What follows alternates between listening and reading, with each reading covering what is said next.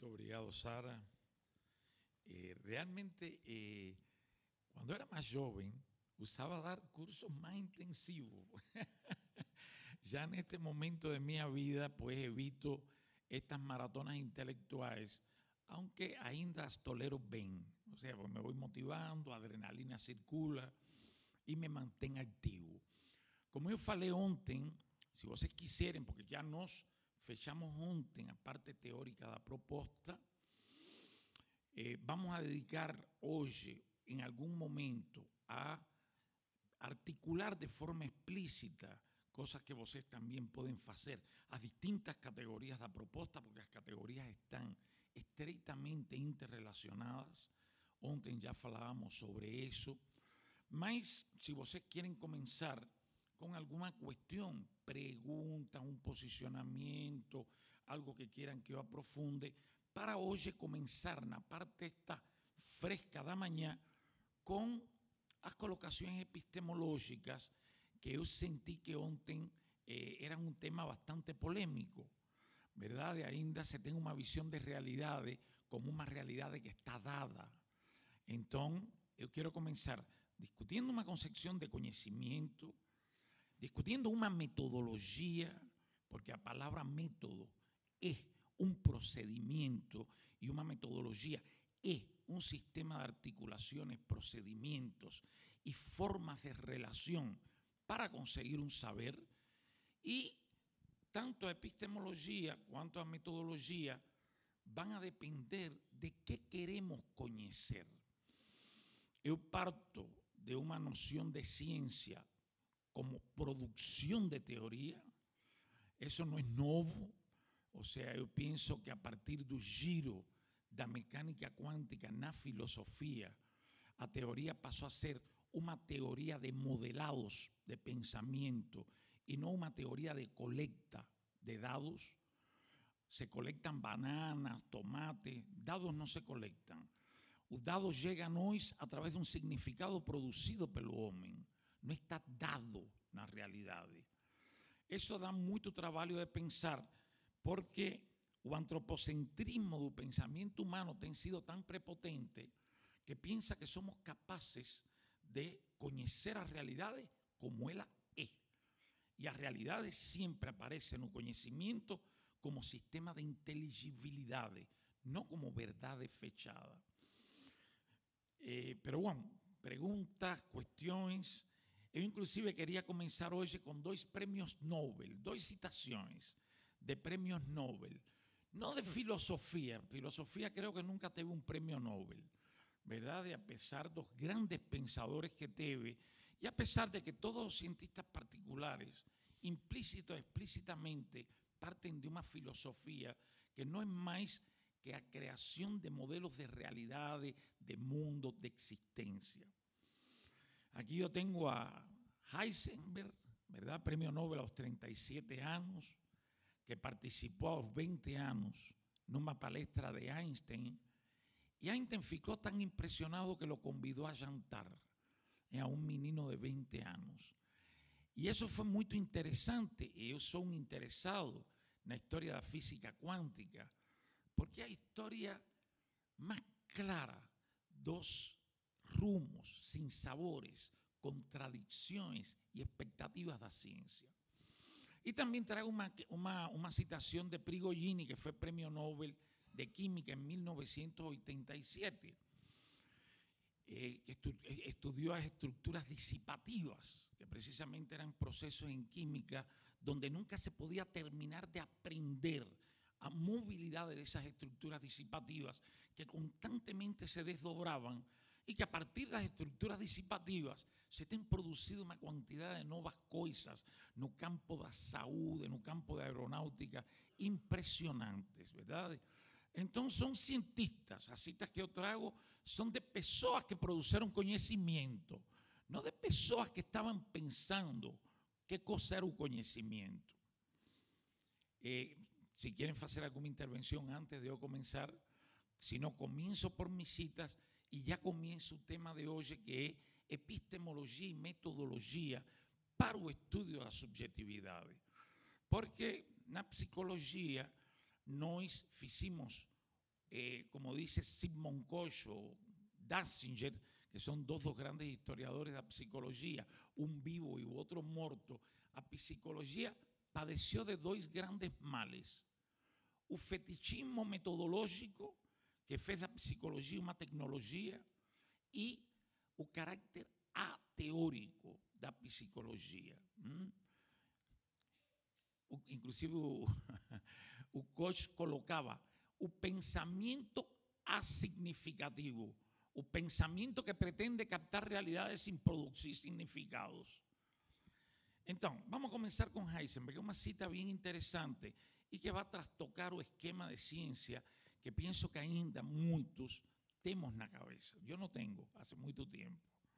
Diz Heisenberg, o objeto de conhecimento científico jamais é conhecido diretamente pela observação, isso é, pela experimentação, mas sim pela construção teórica o postulado axiomático especulativamente proposta y avaliada indirecta y experimentalmente pelas consecuencias deducidas daquela construcción. Ese é o núcleo epistemológico da mecánica cuántica. As partículas não se podem observar. Experimentalmente, quando actuamos sobre elas, mudamos o rumo das partículas. E precisamente podemos acompañar un saber porque tenemos un modelo de pensamiento que permitió sensibilidades para esa forma de expresión de un sistema diferente a nós, que é o sistema das micropartículas. Falar de, micro, de micropartículas é reconhecer um domínio ontológico diferente às macrorealidades, diferente às subjetividades, y diferentes los procesos sociales. ¿Verdad? Vamos accesando a regiones de esto que habitamos y que es inseparable de nosotros, ¿verdad? Porque todo que vamos construyendo en esta realidad de que nos rodea y que nos trasciende y que no sabemos qué cosa es y que convencionalmente hemos llamado realidades, porque es diferente a nosotros, vamos avanzando en ella por trillas diferentes que van permitiendo inteligibilidades múltiplas sobre las cuales se producen los avances de la civilización. ¿Verdad? Escuchen ahora Prigogine. Estamos hablando de premios Nobel de, ciencias ditas, inclusive Prigogine, que yo recomiendo a todos leer, que él tiene la mayoría de sus libros escritos con Isabel Stenger, que es una grande filósofa de la ciencia francesa. Prigogine dice, os que antes nos definíamos como ciencias duras, cada vez nos parecemos más en nuestros procesos de construcción a que eran llamadas, entre aspas, ciencias blandas. Pero hay personas que piensan que un modelamiento matemático es un modelamiento de unas realidades. No, un modelamiento matemático, un modelo de pensamiento para dar visibilidad a procesos que sin un modelamiento no teníamos acceso a eles. Diz Prigogine, porém, os contemporâneos, e com maior motivo, a geração de físicos posteriores a Einstein, empreenderam uma lição muito diferente do êxito da subjetividade. Entenderam, desculpem, uma lição muito diferente do êxito da relatividade. Para eles, a relatividade ensinava que é impossível descrever a realidade a partir do exterior. Ou seja, na dicotomia clássica sujeito-objeto, como se a realidade fosse um sujeito, um objeto independentemente do sujeito. Ela é, mas não no processo de saber. E então, continua ele. É, do posterior. A física está feita pelo homem e para o homem. Ou seja, o mundo que construímos, com independência do tipo de problema que construímos, só existe para nós. Ou seja, nunca um saber expressa un problema que está estudiando nos termos do problema, como foi a velha noção marxista do reflexo da realidade, que na verdade foi muito mais Lenin quem enfatizou a teoria do reflexo que o próprio Marx. Então, a partir desta visão, que é uma visão que partilhamos totalmente, eu quero entrar nos desafios que foi construir uma epistemologia para estudar a subjetividade. Eu lembro que quando eu estudava em Moscou, eu fazia pesquisa qualitativa. Usava instrumentos abertos, entrevistas, sistemas de conversação. Mas eu me formei em uma visão positivista de ciência. E eu lembro que sempre eu perguntava a meu orientador, por que isto que, você, isto que eu faço é ciência? E ele sempre me batia uma palmadinha no, no ombro e me falava, quando você seja doutor, encarregue-se desse problema, por enquanto faça uma boa pesquisa. Eu tomei isso em sério. Ou seja, na época eu fiz, como falei ontem, meu doutorado nas formações motivacionais da personalidade, que foi um conceito emergente na psicologia soviética, introduzido por Boschovich, donde se rompió aquela noção velha de necesidad o motivo como algo que era externo a otra función y que impulsaba esa función. O sea, un poco de forma semejante a como a física no século XVII eliminó el concepto de fuerza ¿eh? como algo externo a un objeto y que impulsa un objeto. Todas las nociones de campo, eh, de, de, de gravedad, todas esas nociones que fueron explicando por qué los cuerpos se movimentan y que no existe algo externo que los impulsa, sino existen procesos de relación que permiten esa movimentación. Eso aconteció los seres humanos desenvolviendo una teoría de motivación que no fuera aquella de o cara lee porque tiene motivo por la lectura. Es una tautología.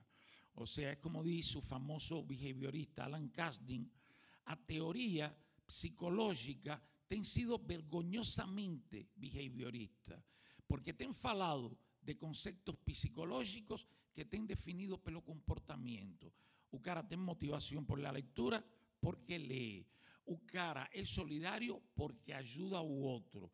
Y no cuestiona que o cara puede ser solidario porque quiere ganar un espacio con otro que ocupa una posición de poder superior a él.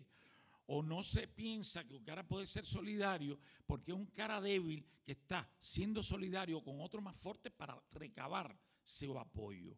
Y son precisamente estas complexas combinaciones de elementos cargados de emocionalidades que se integran en las configuraciones subjetivas o que representa para nosotros una teoría de motivación que resgata dos, dos cosas importantes. El carácter central de este proceso, tres cosas importantes. El carácter central de este proceso, el carácter singular de este proceso y cómo las diferentes funciones psicológicas del hombre se organizan como motivaciones en sus configuraciones subjetivas. Es ridículo pensar que yo pienso apenas porque quiero armar algo de una información que me llega. Yo pienso porque estoy motivado para me articular y producir un pensamiento donde mi imaginación es alimentada por la emocionalidad implicada en ese proceso. No desafortunadamente hemos legado como psicólogos a ciencias do hombre una taxonomía totalmente fragmentada de conceptos. Y el ser humano no es una colcha de retalios. El ser humano es un sistema, un sistema configuracional, no un sistema que procura o equilibrio o que tiene principios universales de organización, que esto que está enmarcado a noción de sistema na, na mayor parte dos posicionamientos filosóficos y psicológicos, ¿verdad? De pensar que las sociedades tienen unas leyes gerais que organizan todos esos procesos de las sociedades. No, el concepto de ley es profundamente positivista. El concepto de ley es un concepto que procura regularidades sobre realidades que son caóticas y que no tienen esas regularidades. Y un concepto de configuración, a diferencia del de ley, nos permite comprender los sistemas como configuraciones múltiples que se integran y se rompen y se desintegran la marcha un sistema, que es o que representa, por ejemplo, una sociedad. ¿Eh? A primavera árabe era impredictible desde cualquier manual de política o de filosofía. Ah, acontecieron una serie de procesos que se fueron encadeando, que generaron configuraciones sociales diferentes y aconteció algo totalmente imprevisto en países profundamente conservadores. Entonces, y es igual que un ser humano, eh, pensar que, es como ten feito a psicología, que para matar a alguien tiene que ser un psicopata o un antisocial, es un error profundo. Cualquiera mata a cualquiera. Un grande filósofo, Luis Althusser, enforcó a su mujer. ¿eh? Y era un hombre de ciencia, un hombre conocido mundialmente.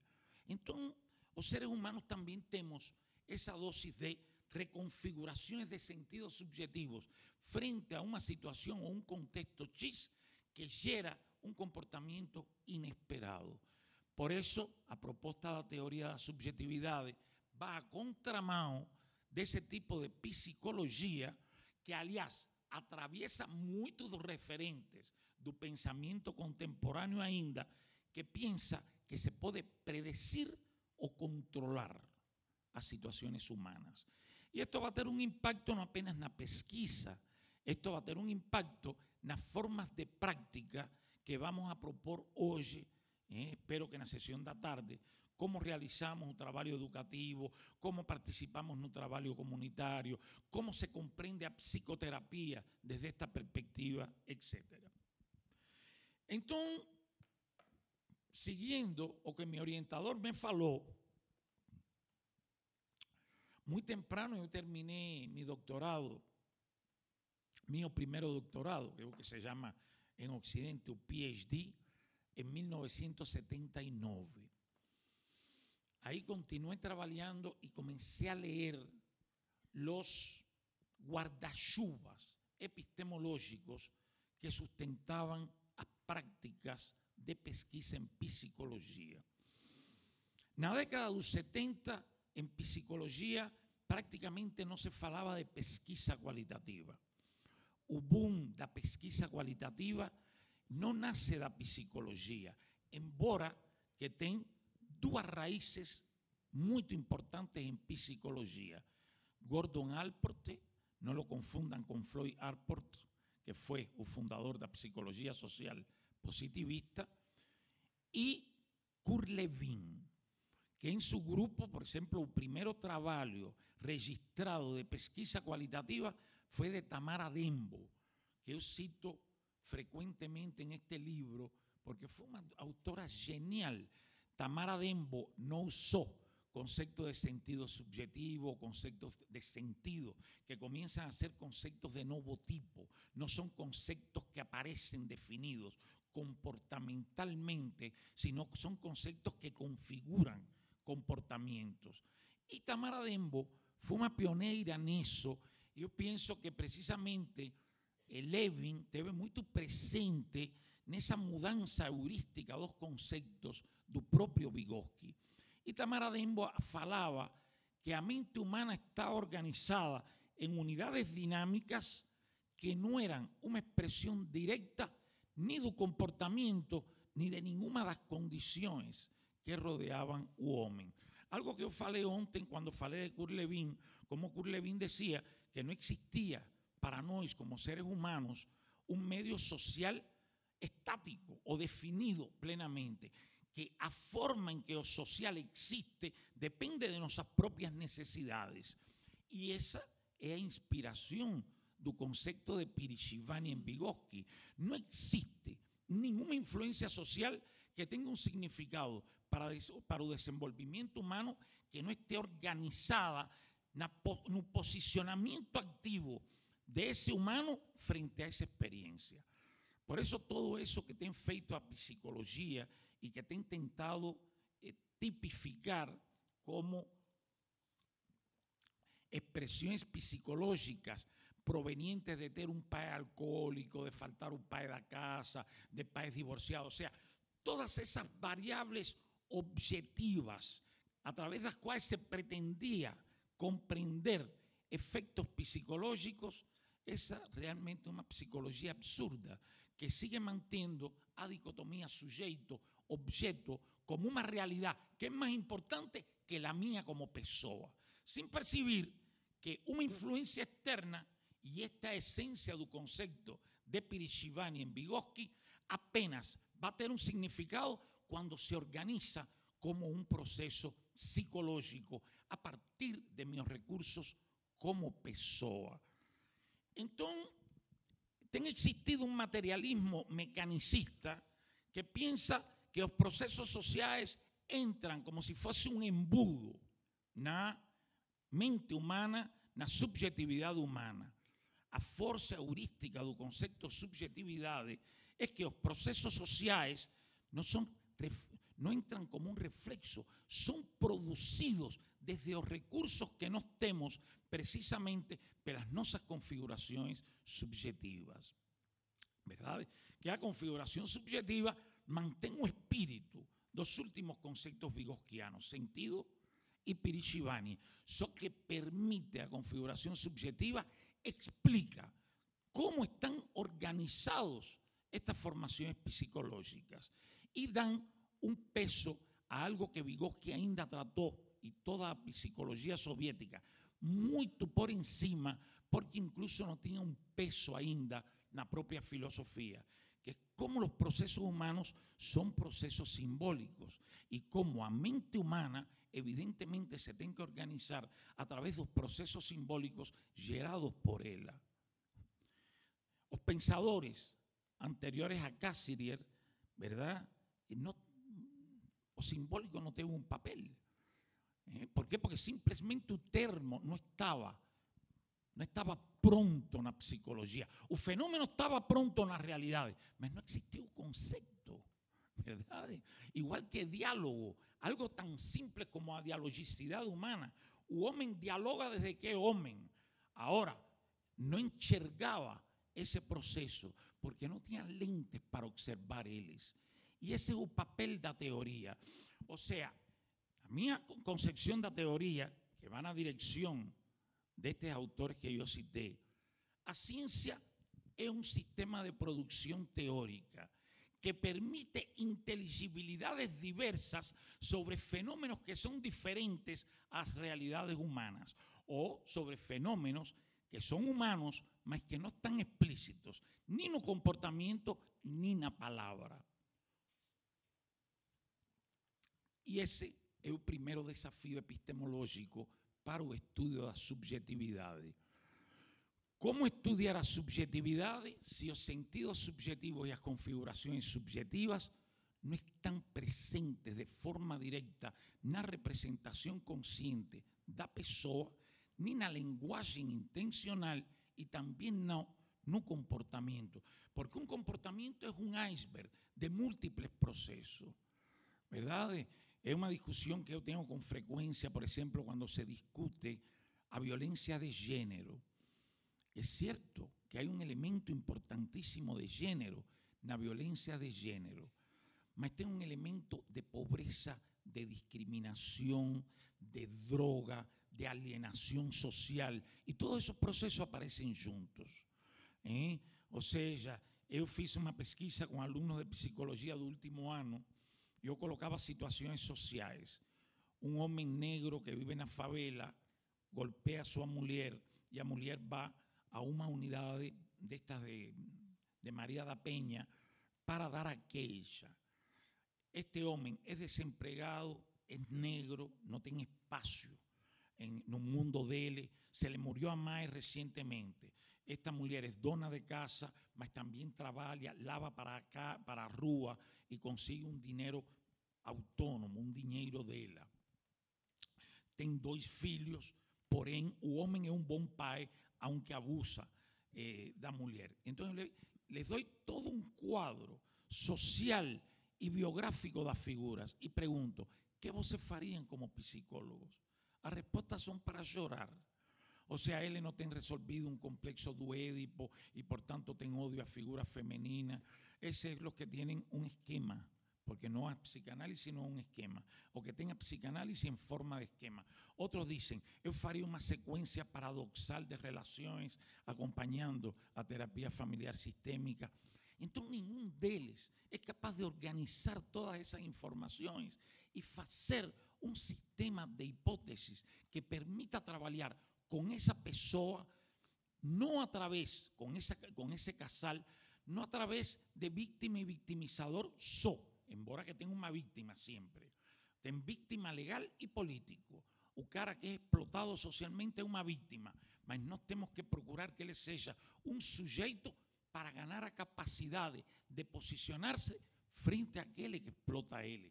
Entonces, no, no podemos eh, confundir a múltiples dimensiones que simultáneamente aparecen no humanos. ¿verdad? Y precisamente una de esas dimensiones es la subjetividad. Entonces, eh, se hace un boom das eh, pesquisas cualitativas en psicología, realmente las no aparecen por psicólogos. Ese legado de Alport y Kurt Levin, él ficó omitido. No ano 1968, eh, los autores humanistas, Carl Roger, Maslow, propio Gordon Alport, Rollo May, hicieron un famoso seminario eh, en, en, California con un filósofo de la ciencia, que es un tema que no he falado para vocês. O sea, a ciencia pasa a ser objeto de la filosofía porque se comprende que la ciencia no es un sistema de procedimientos, es a invención de modelos que nos den acceso. Y aquella, aquella cosa que me está alumbrando, ¿qué cosa es? Aquel foquiño, ¿la qué cosa es? Pero amor de Dios, no, no. Eh, deja mi vista ver a vocês. Eh, no me interrogues, yo me estoy dejando interrogar sozinho, estoy falando espontáneamente. Entonces, eh, ese seminario que se fez eh, en California fue con Michael Polanyi, un físico filósofo da ciencia. Yo estaba falando en ese momento que a filosofía da ciencia aparece no dos filósofos, mas dos cientistas. Porque los cientistas perciben que hacer ciencia no era como se pensaba na era positivista, aplicar instrumentos sobre unas realidades y colectar dados de esas realidades. Y comienza un tema que es precisamente a discusión de cómo a ciencia evoluye históricamente y cuáles son los recursos heurísticos que a ciencia desenvolve para construir procesos sobre realidades que no son las realidades que están o que son hegemónicas en nuestro lenguaje, en nuestro pensamiento en un momento histórico. Y ahí los autores humanistas ganan una conciencia epistemológica que no tenían antes. Porém, cuando la pesquisa cualitativa entra en psicología, entra a través de sociólogos, educadores como Kinchelow, Bogdan y Taylor, Glasser y Strauss, no por psicólogos. Y entra precisamente a Grounded Theory, que até hoy es muy divulgada entre los psicólogos, que se apoya la fenomenología. La fenomenología fue um dos guarda-chuvas epistemológicos principais no início e até hoje é da pesquisa qualitativa em psicologia. Só que em lugar de usar a ficção humana como parte importantíssima do fazer ciência, como fez Merleau-Ponty, que falou, a teoria de Galileu era uma ficção, mas era a melhor ficção para dar conta del fenómeno que él estudió. O sea, a desmistificación de las teorías como verdades o realidades ya es muy velha en la ciencia, muy velha. De facto, incluso para hablar de política, el socialismo apareció no donde Marx pensó, no apareció como resultado de la contradicción de las y las relaciones de producción. Apareció en un país más atrasado do capitalismo mundial. y apareció como fenómeno social, no como una expresión de una contradicción económica, como una expresión da pobreza, das consecuencias da guerra, de no terminar a guerra, da pobreza do campesinado. Apareció por un sistema de conceptos que no estaban na fórmula contradicción, fuerzas productivas, relaciones de produção. Ao contrário, o desenvolvimento das forças produtivas ao interior do capitalismo actual tem mostrado a emergência de novas relações de produção, totalmente diferentes. Então, nesse processo, eu estudei a fundo a fenomenologia, estudei Husserl, que é o mais objetivo dos fenomenólogos, precisamente porque Husserl foi matemático e ele pretendia fazer da filosofia, explicitamente, uma ciência tão rigorosa como a matemática. Claro que esse foi um intento falido. Mas essa posição de Husserl levou ao primeiro Husserl, porque Husserl tem três etapas claramente definidas, e a última é onde ele faz uma crítica da situação da ciência em Europa, que já tem outras posições muito diferentes. Mas esse primeiro Husserl era esencialmente un inductivista en su forma de relacionar con un mundo. Embora que planteaba una cosa que otras corrientes filosóficas no tenían trazido, o sea, aproximación a esencia como acto de conciencia. Por tanto, na, no, na, na realidade fenomenológica, o fato no es independiente de la conciencia que lo aprende. Y esto creó uma superação da dicotomia clássica sujeito-objeto. Porém, eh, quando a fenomenologia foi assumida nas ciências sociais de forma geral, eu penso que não se pode trazer uma filosofia de forma automática e direta a nenhuma ciência particular. Por isso é que o chamado de Vygotsky era vamos a fazer o capital da psicologia. ¿Verdad? O sea, su posicionamiento marxista no era partir do capital de Marx para aplicar a psicología, era vamos a fazer o capital como uma obra cumbre da psicologia. E o erro que temos tido, basicamente os psicólogos lembrem que a ruptura de nós com a filosofia começou desde a mesma fundação da psicologia. Ou seja, filosofía se veía como un campo especulativo, como un campo que era totalmente contrario a ciencia, y de ahí surgió un cientificismo que caracterizó sobre todo a psicología empírica norteamericana a principios del século XX, que fue una psicología que se fez dominante en toda América y parte del mundo hasta la década de los años 60. Entonces, eh, los autores fenomenológicos pretendían primero, porque me preguntan mucho, inclusive tem pessoas que falan que mi colocación es fenomenológica. Tengo una diferencia profunda. Primero, mi campo de trabajo es un campo complejo que es la subjetividad humana. Para a fenomenología, o objeto de estudio es a experiencia. ¿Y cómo eles se representan a experiencia? A través do relato da pessoa que vivió a experiencia. A fenomenología trabaja con as narrativas explícitas do outro e va haciendo reducciones sucesivas para llegar a esencia de un fenómeno a través dos elementos que directamente o indirectamente se van repitiendo na narrativa. Por eso es que a, a fenomenología defiende no plano metodológico que a pesquisa é essencialmente um processo inductivo descritivo. Aí tem uma identidade total com o positivismo. E tem outra, outra identidade importante com o positivismo. A redução fenomenológica para se aproximar à experiência do outro, que supõe que você pendure, deixe pendurados fora da relação com o outro, suas crenças, seus valores, sua ideologia, enfim, sua subjetividade.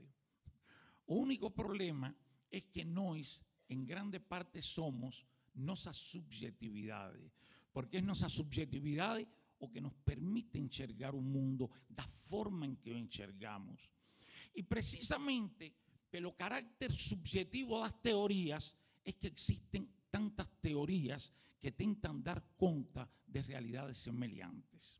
Que esse é um problema que em psicologia é superlativo. Então, eh, realmente não tem nenhuma semelhança. Verdade? É engraçado que se associa a interpretação com a fenomenologia. A fenomenologia não interpreta, a fenomenologia acompanha cadeias inductivas depois as construye como sinónimo de experiencia vivida pelo relato explícito de quien vivió a experiencia. A teoria da subjetividade é todo o contrário. O relato explícito do sujeito nunca expressa a configuração subjetiva da experiência vivida. Por isso é engraçado como pode ter uma pessoa que eh, realmente tem uma debilidade, verdade? Tem uma discussão, por exemplo, com seu professor, o professor é forte, la increpa por uma indisciplina e a pessoa abandona o local e depois manda um e-mail ao professor falando que ela se respeta a si mesma e, portanto, não permite falta de respeto. Bem, é uma construção subjetiva. Ele é feliz desde esse lugar, que aproveite esse lugar, mas é uma distorção total do que aconteceu. E isso acontece cotidianamente em nossos dias. Uma pessoa lhe oferece algo a você por ejemplo, voy a colocar un ejemplo de un médico cubano que era mi amigo de estudiante y fue uno de los últimos casos que yo atendí en Cuba en psicoterapia, que un cara llegó un día a verme cuando yo era prorector y me dijo, oye Fernando, estoy aquí, pues simplemente estoy doido, esturé. Le pregunto, ¿qué, qué aconteció? Que mi pai me lembró que yo debo dar un libro de presente a un médico que yo le ve, amigo mío, para que atendiera un problema de él. Chingué mi pai, tiré a porta, pegué un carro, salí a 100 kilómetros por hora y cuando paré falé. Yo estoy loco. Parece un acto de locura. Y ahí ven la importancia del concepto de configuración subjetiva. Vamos a ir a procurar los elementos, los sentidos subjetivos posibles que configuran ese acto que en apariencia es un acto de locura. En ese sentido, igual que narré ayer una, terapia, hoy voy a narrar simplemente un núcleo que fue objeto de muchas conversaciones. Este es un pai que nunca reconoció ese filio, que era en ese momento uno de los médicos más prestigiosos de Cuba, en bora de su juventud. Nunca reconoció. Este filio, en un momento, el pai tuvo un problema y le faló, yo voy a traer a fulano, que es un especialista en este tipo de problemas. Un médico que fue a ver un pai, pelofilio, llega, estudia un pai fica extremadamente agradecido a un médico, no tengo una frase de agradecimiento filio. Nunca estimuló su filio. Perfecto. Ahí, él, cuando un médico está yendo embora, le fala, te voy a dar de presente este libro que sé que te va a interesar mucho. A partir de ese momento, un médico era un cara muy ocupado, él iba a ver a su padre sistemáticamente, el padre comienza, lembra del libro que prometiste a tu amigo, no fiques mal con él, que él fue muy atento conmigo. O sea, él despoja completamente o acto de un médico que lo va a ver y que no lo conoce y que de facto es un acto de seu filho, desposa completamente o filho desse acto, desposa completamente o filho do oferecimento do livro e se convierte no administrador do, da oferta que o filho faz. E o filho chega em um momento de tensão, com um paciente em morte. Quando o pai le lembra, todo esto se configura e explota a situação. Mas a situação é uma configuração histórica de uma relação pai, filho, que teve determinadas fontes de sentido subjetivo nessa história. Inclusive, quando avançamos muito, o filho me diz: Eu sempre queria brilhar para meu pai. Eu jogava beisebol e sempre estava doido para que ele me fosse a ver. Nunca me foi a ver. Eu fui o primeiro expediente de medicina, nunca me parabenizou. Ou seja, un pai que eu idolatro, porque es cosas interesantes, si no idolatrar un pai, no tería una reacción afectiva tan intensa, porque es algo que eu falei ontem. O que mais dano nos faz não são as pessoas que nos querem ferir ou as pessoas que estão fora de nós. As pessoas que mais dano nos fazem, sem ter consciência de dano, são nossos afectos mais profundos. Todas as dinâmicas complexas, sintomatológicas de um mundo subjetivo são geradas em espaços de relacionamentos profundos, frente aos quais a pessoa não tem capacidade de posicionamento nem de representação do problema. E por isso emerge o problema. Então, evidentemente, quando fiz minha procura no amplo leque de autores fenomenológicos, falei, lo que eu estou pretendendo eh, no estudio da subjetividade, a fenomenologia não é a para estudar isso. Depois veio, porque os psicólogos somos en grande medida pessoas de ocasión, de temporada. Si es de manga, pegamos manga, y si es de masá, pegamos masá. Después veio otra moda que entró en la psicología, a hermenéutica. Gente, a hermenéutica no es una metodología. A hermenéutica es un posicionamiento epistemológico. Pasó a misma cosa que con la fenomenología. Todo que se usaba en interpretación era uso de hermenéutica. El único problema era que se usaba interpretación y no se tenía claro a dónde llegar. Porque vos para interpretar, ten que interpretar procurando construcciones que vayan en la dirección de dialogar con un marco teórico general desde el cual vos parte porque es desde ese marco teórico general que no estamos produciendo significación sobre un leque de problemas que estudiamos desde esa teoría. O sea, por eso yo falei ontem en algún momento que las teorías no se aplican, las teorías se usan. Las teorías son recursos para producir un oso pensamiento. Un cientista no es un papagayo, un repetidor que no tiene procesamiento de las cosas. Un cientista es un cara que se puede apropiar de una teoría y producirse un pensamiento sobre su práctica o sobre su pesquisa. Por eso es que las teorías son sistemas de inteligibilidad, no camisas de fuerza. Entonces, evidentemente que ahí fue cuando estudié ese giro de Heidegger, que fue el primero que proclamó un giro un giro de epistemología hermenéutica y evidentemente la hermenéutica tanto de Gadamer como de Heidegger está orientada a, a procesualidades básicamente dada na lenguaje. O sea, que el foco es el lenguaje. El ser, o ser heideggeriano es un ser ahí que está en proceso, mas básicamente en un proceso da lenguaje. Y por eso es que autores que son de fato seguidores de esa tendencia que yo mencioné antes, Wittgenstein, Heidegger, Gadamer, como Rorty, precisamente critican la total, la mitificación del lenguaje. O sea, fueron contra una ontología del ser y terminaron gerando al lenguaje como sustituto del ser. Después que penteé esa filosofía, comprenden que eso fueron desde el año 79, estaba estudiando, para ver dónde yo me ubicaba, porque yo quería encontrar un guardachuva para me sentir yo mismo más seguro dentro del camino metodológico emprendido. Ahí llegué al análisis del discurso, que en la época o análisis hegemónico era o análisis estructuralista francés, ¿verdad? Que era una combinación de lingüística formal con pensamiento lacaniano con marxismo. Era una especie de batido de varias frutas, ¿verdad? Pero que esencialmente veía un discurso como una producción en relación al cual o analista se podía externalizar para acompañar un discurso. Lo primero es que mi tema de estudio no es un discurso, embora que el discurso es inseparable de la subjetividad, como yo falei ontem.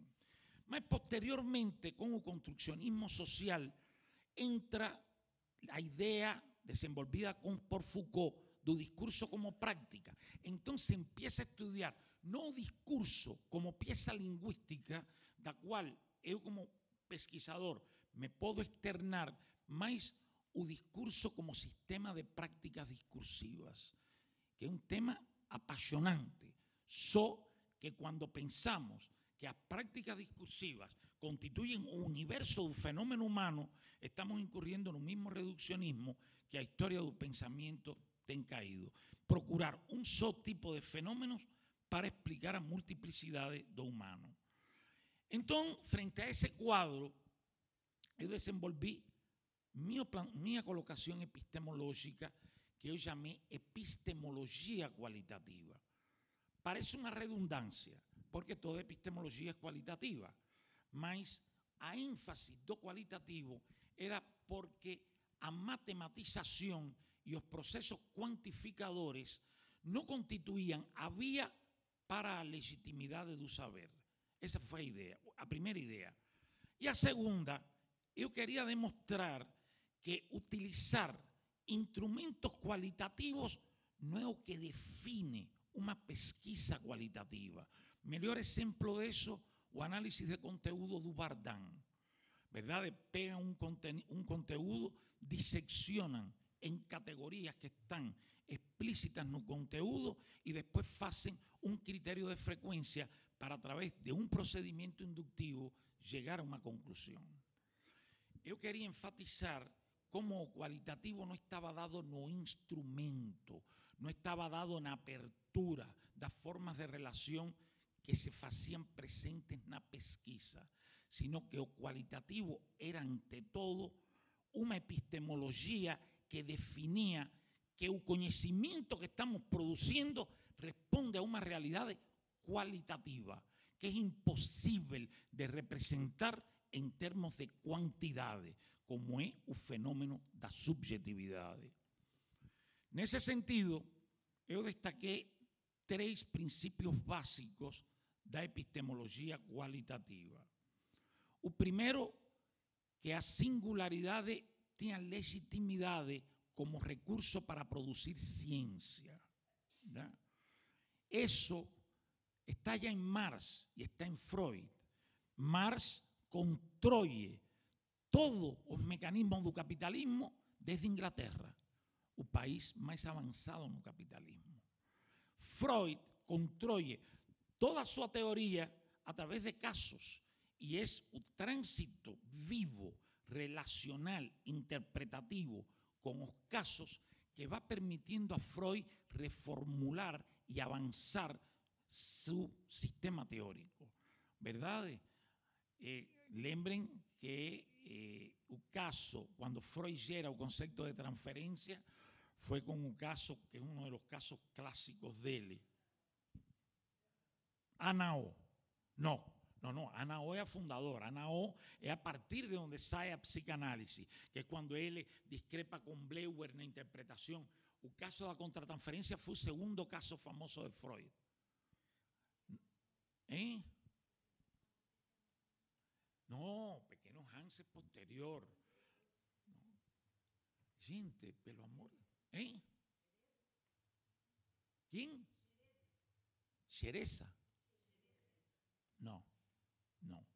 Bien, el disco rígido me debe voltar un nombre que se me perdió, que fue a mi niña joven que abandonó a terapia con un maestro y un narcisismo de Freud no permitía, no le permitía decir, no la abandonó porque no le interesó lo que yo le estaba falando y porque evidentemente lo que yo estaba falando no tiene un valor para ella. Entonces un maestro era un concepto de contratransferencia que pasa a ser una pieza central en su comprensión de psicoterapia. O sea que esto no es nada nuevo ¿eh? o singular, inclusive yo destacaba ontem como la medicina cada vez más existe o singular. Só que epistemológicamente temos que fazer uma diferença entre o singular e o único. O singular tem um valor para a ciência porque é um significado que encaixa perfectamente com um processo de construção que já vem em andamento. É uma peça que se pode articular a um processo de construção que visa un modelo teórico que tenga una capacidad explicativa. Es imposible estudiar cualquier sistema complejo sin atender a singularidades, porque mientras más complejos son los sistemas, más singulares son los individuos que o componen, ¿verdad? Eh, los macacos son mucho más singulares que los caballos, eh, son mucho más complejos. Esto nos permitía hacer do estudio aprofundado de casos una ferramenta metodológica principal. Lo que no queremos confundir con un método de estudio de casos, que también es muy velho la psicología. Cuando yo estudiaba, se dividía eh, a ciencia da clínica. Decían, un método clínico es legítimo para hacer clínica y un método clínico entre sus recursos estaba o estudio de casos y un método experimental es un método de ciencia. Eso dominó hasta los años 70, o sea, eh, esa visión, sin percibir que a clínica es una forma de hacer ciencia, que ciencia y práctica no están divorciados, que lo único que cobra para una práctica virar un acto de es la intencionalidad de producir un saber que está para além da solución del problema que enfrentamos en la práctica. Cuando usted está trabajando, como trabajó Freud, a psicoterapia, y usted no simplemente está procurando ¿eh? Hipótesis que le permitan resolver un caso que está frente a usted, sino que usted quiere articular procesos de esa relación para explicar a psicoterapia como forma de práctica humana, usted está haciendo ciencia. A ciencia tiene un teor explicativo, ¿eh? un teor comprensivo. Y esta división entre comprensión y explicación, que era la, la bella fenomenología, Paul Ricoeur definitivamente superó ella cuando faló. Toda comprensión es inseparable de una explicación, porque las articulaciones de dos elementos isolados, cuando producimos una unidad de saber, siempre tienen un carácter explicativo. ¿eh? Porque lembren lo que tienen más eh, background en la filosofía, que durante un tiempo la fenomenología excluyó el concepto de explicación como un concepto naturalista causalista. No estamos hablando de causas, estamos hablando del tramado de organización de un fenómeno. El segundo elemento de epistemología cualitativa fue a, a ciencia como proceso de comunicación, como proceso dialógico. O sea, estamos trabajando con seres humanos que no son máquinas de respuestas. A ciencia tradicional se apoyó en una epistemología estímulo-respuesta. O sea, que los psicólogos hemos sido mucho más behavioristas